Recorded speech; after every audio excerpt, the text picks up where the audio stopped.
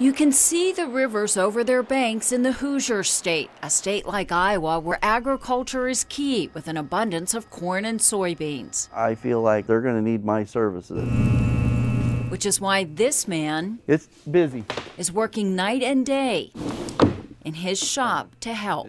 They got to have the water off the field for the field to dry in time for the planting season to start. Ron Jahnke custom cuts and creates large diameter hoses up to 70 feet long. You got to pull the material off the roll. This video shows how it hooks up to pump water off a flooded field They've been connected together like a, a quarter of a mile long. over a levee into a river. Last year we had a guy that had to plant his farm field three times.